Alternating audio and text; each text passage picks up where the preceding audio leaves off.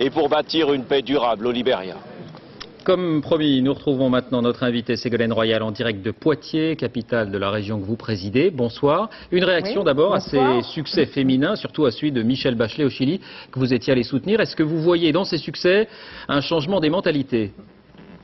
D'abord, ce sont des succès qui n'ont pas été faciles euh, à obtenir, et en particulier euh, la campagne de Michel Bachelet, qui était une campagne formidable, populaire, c'est une, fierté extraordinaire, pas seulement pour le Chili, mais aussi pour la gauche et aussi pour les femmes. Et comme elle le disait elle-même, elle est partie dans cette campagne en, ayant tous les péchés.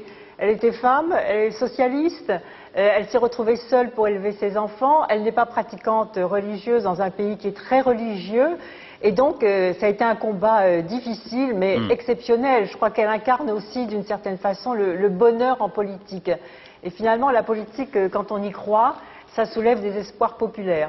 Et je vais vous dire que sa principale préoccupation, qu'elle m'a confiée quand on s'est vu en tête à tête, c'est de se dire comment est-ce que je vais être à la hauteur de cette attente Comment est-ce que je ne vais pas décevoir? Alors après le Chili, la France, on ne vous a pas entendu depuis que vous avez euh, affiché vos ambitions, et depuis cette envolée dans les sondages, ce qu'on appelle le phénomène Ségolène Royal.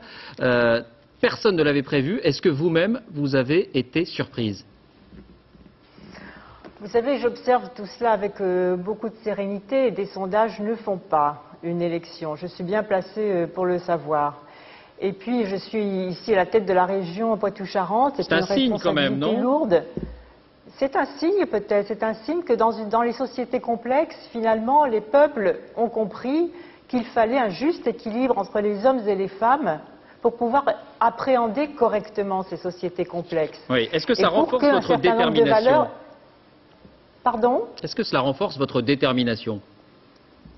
Ça renforce en tout cas la, détermination de faire en sorte euh, qu'il soit possible de construire des mondes plus humains et plus équilibrés. Parce que c'est vrai, on l'a vu dans tous ces portraits de femmes, ce qui est remis au cœur des préoccupations politiques, c'est d'abord l'éducation et la famille, c'est-à-dire l'idée toute simple que lorsque les enfants sont bien éduqués et bien formés, à ce moment-là, leur accès à l'emploi est davantage possible c'est la lutte contre la précarité, parce que les femmes ont compris que lorsqu'elles sont en situation précaire, lorsque des parents sont en situation précaire, ils ne peuvent pas payer leur loyer, donc ils ne peuvent pas éduquer correctement leurs enfants. Et donc que la précarité au travail, c'est un élément qui détruit les sociétés. Ségolène Royal, euh, cette percée a surpris, elle a provoqué aussi des critiques, notamment dans votre camp, parfois des ricanements. Comment avez-vous réagi à ces critiques et à ces ricanements?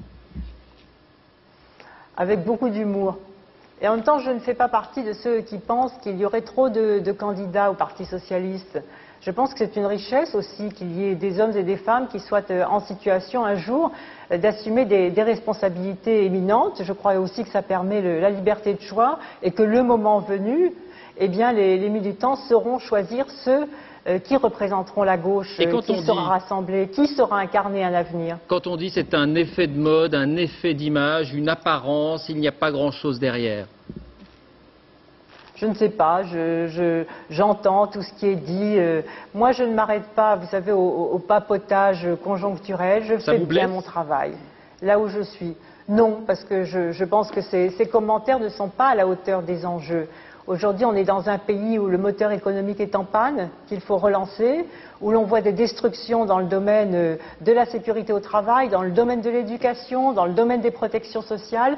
Et moi, je pense que la précarité est, un handicap pour l'efficacité économique. Moi, je pense que l'on peut concilier l'efficacité économique et les protections sociales. Parce que quand un salarié est en situation précaire, alors il est démotivé au travail. Mm. Et je vais vous dire, la première décision que j'ai prise en arrivant à la tête de la région, qui est une entreprise puisqu'il y a 400 salariés, c'est de supprimer les contrats précaires et de les transformer en contrats durables. Et alors les salariés, je les ai trouvés beaucoup plus motivés dans leur travail et sécurisés dans leur vie de famille.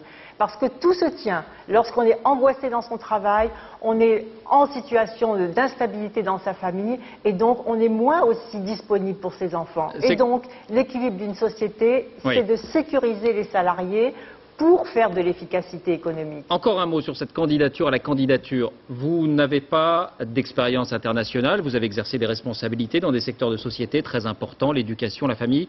Vous n'avez pas euh, d'expérience internationale, pas d'expertise économique. Comment euh, comptez-vous vous y prendre pour convaincre que vous pouvez avoir les épaules, la carrure pour occuper cette lourde fonction? On pourrait entendre les, les, adversaires de Michel Bachelet dans les observations que vous venez de faire.